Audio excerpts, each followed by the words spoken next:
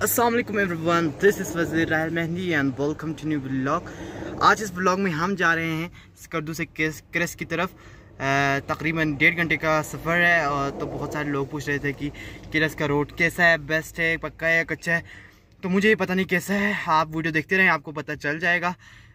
सो चलिए शुरू करते हैं आज का ब्लॉग गाड़ी में ही हमने इंट्रो मारा है तो चलिए शुरू करते हैं। Let's go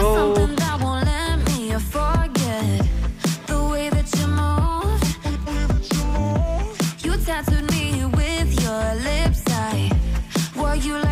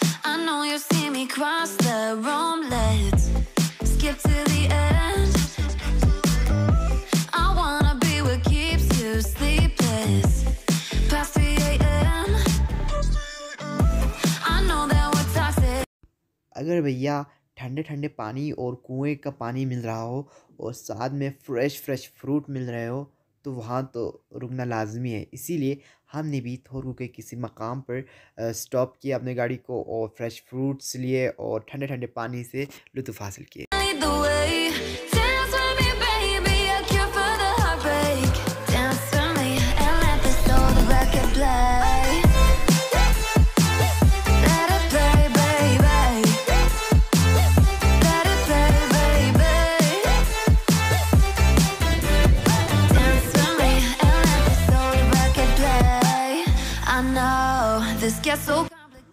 और ये है जी गोल हम अभी हम पहुँच चुका है और ये view point of goal valley Get it, but until the morning.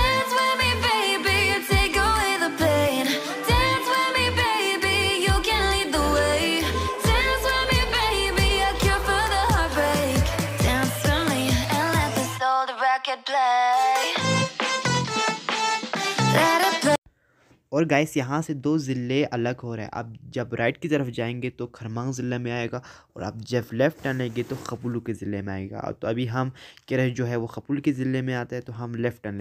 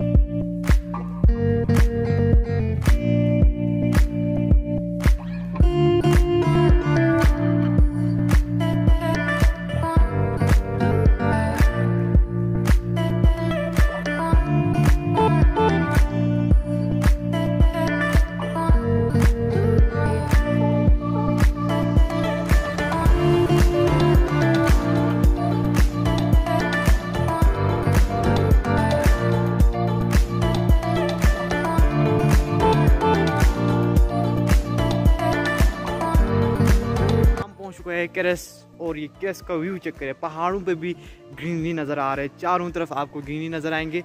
So check the view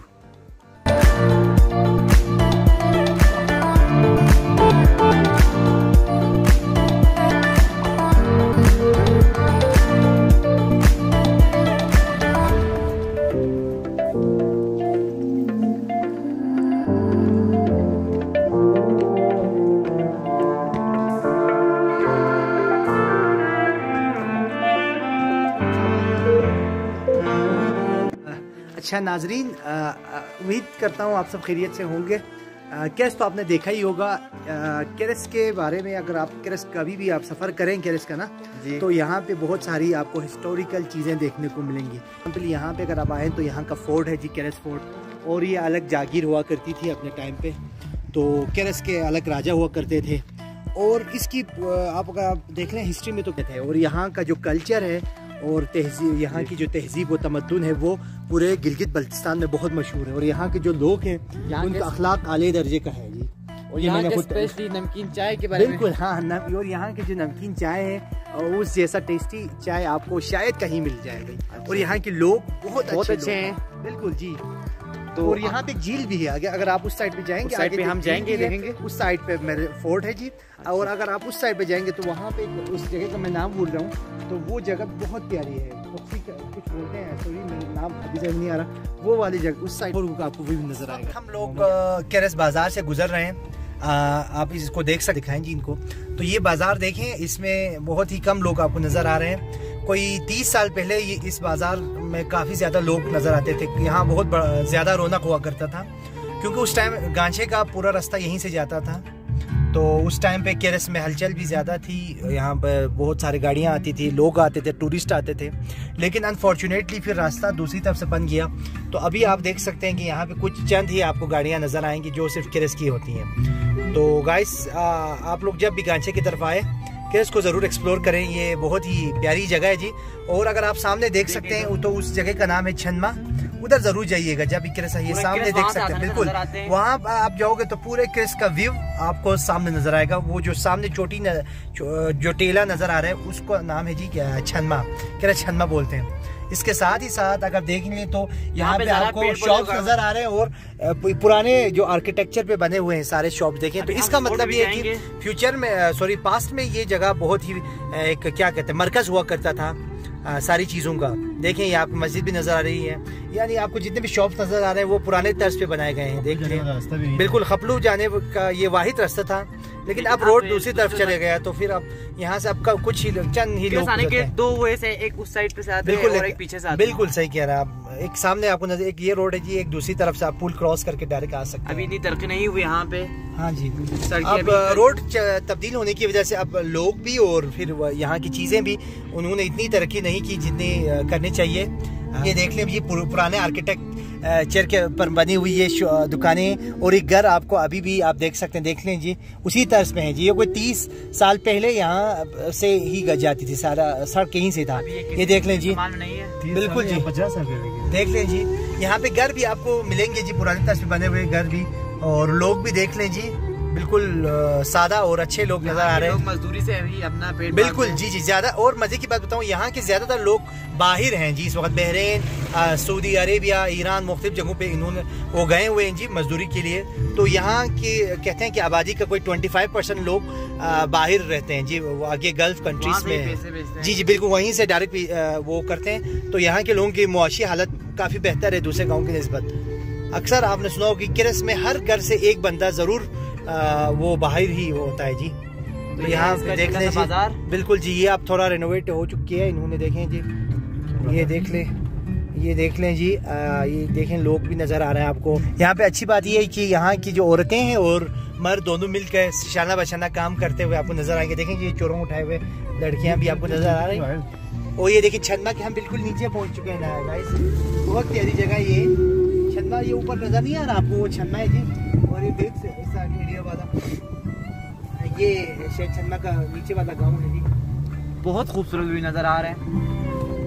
और मज़े यहाँ का जो पानी है वो भी काफ़ी मज़ेदार है जी। क्योंकि डायरेक्ट ग्लेशियर्स का जो पानी होता है वो डायरेक्ट इनके घर को पहुँचता है। इस वजह से यहाँ का जो पानी है वो बहुत ठंडा है। इस गर्मी में भी अगर आप इसका पानी टेस्ट करेंगे तो यख यख पानी है जी यहाँ का। कद्दू से तकरीबन 40 किलोमीटर के फासले पर ये मौजूद है। आप जो यूँ आगे जाएँगे आपको पुराने टाइप के घर और लोग भी मिलेंगे जी। देख लीजिए मट के यहाँ पे अक्सर बनाते हैं क्योंकि यहाँ पे मट बहुत ज़्यादा है। आ, अच्छे टाइप का जो होता है मट वो यहाँ पाया जाता है। क्ले सॉरी क्ले जो है तो क्ले से बने हुए हैं सारे चिकनी मट्टी से। ये देखें ब्लॉक्स आपको नज़र आ रहे हैं। तो सारे घर तकरीबन इसी वजह से बने हुए हैं जी। और यहाँ का प्लस पॉइंट ये है कि यहाँ पर सुन्नी शिया नुरबाशा हर कस्म के पाए जाते हैं। लेकिन सब एक ही मस्जिद में नमाज़ पढ़ते तो ये इस गाँव का एक प्लस पॉइंट है।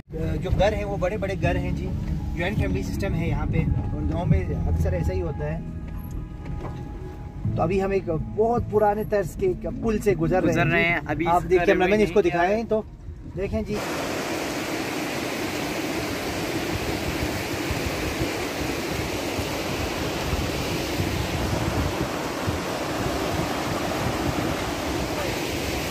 बहुत खूबसूरत व्यू नज़र आ रहा है गाइस यहाँ से।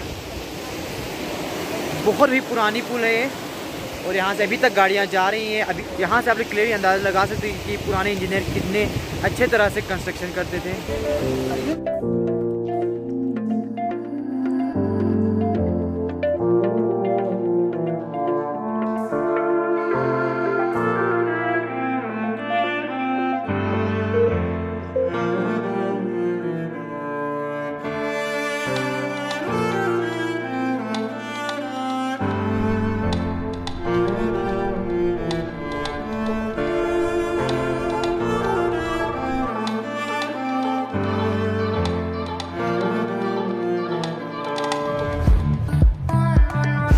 जी, आपको कैसा लग रहा है?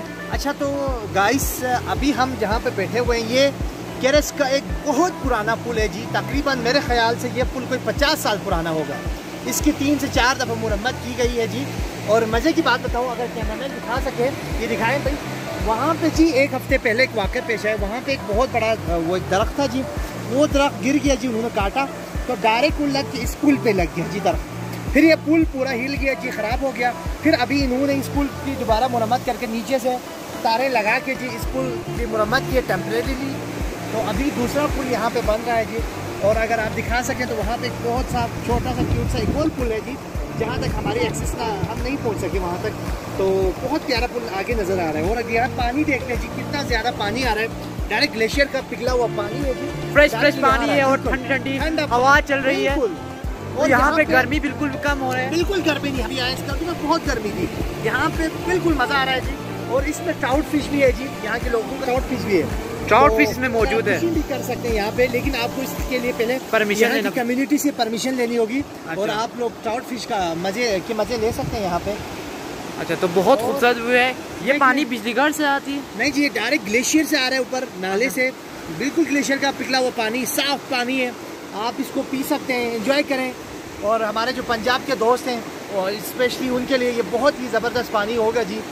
जब भी केरस आ रहे हैं बिल्कुल टाउन एरिया से जो आ रहे हैं।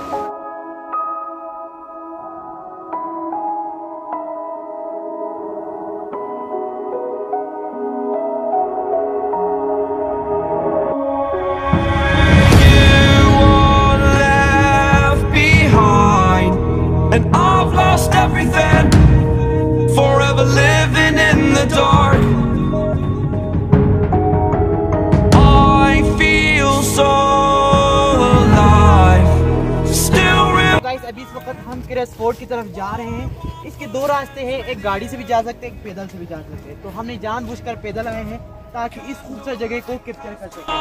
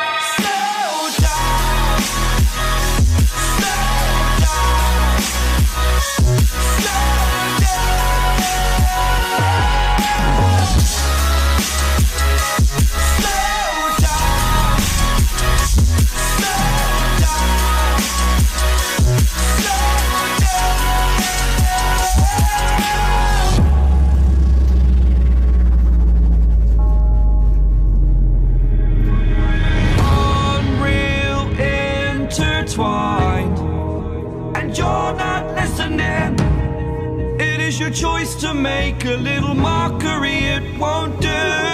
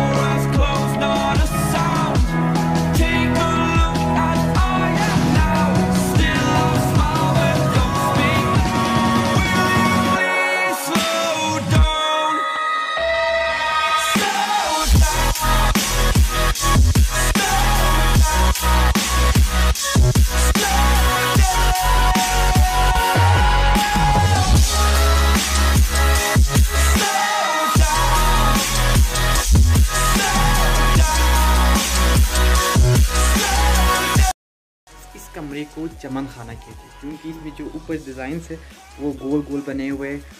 तो इस वजह से इस कमरे को चमन खाना रूम कहते हैं।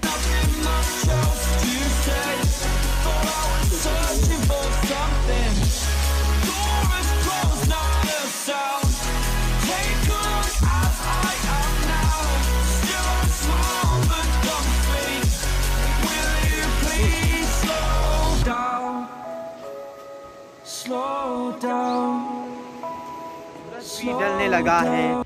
रात की तारकियों ने दिन को अपने आगोश में ले लिया है। टाइम में हम क्रिस को फुल एक्सप्लोर नहीं कर सकते थे और हमने सिर्फ़ क्रिस बाज़ार और फोर्ट को एक्सप्लोर किया। तो अगर आप लोग आना चाहते हैं तो मैं कहता हूँ एक दो दिन के लिए आ जाएँ पूरे क्रिस को एक्सप्लोर करके जाए। तो स्पेशली थैंक्स वज़ीर अजहर मेहंदी आप इतने अच्छे इलम रखते थे। मैं तो इतने इलम नहीं रखता था इसलिए मैंने आज मेरे इस ब्लॉग में वज़ीर अजहर ने बहुत ज़्यादा बोला है। तो स्पेशली थैंक्स टू अगले ब्लॉग में अगले ब्लॉग तक अल्लाह हाफिज़। Down, slow down, slow down, slow down.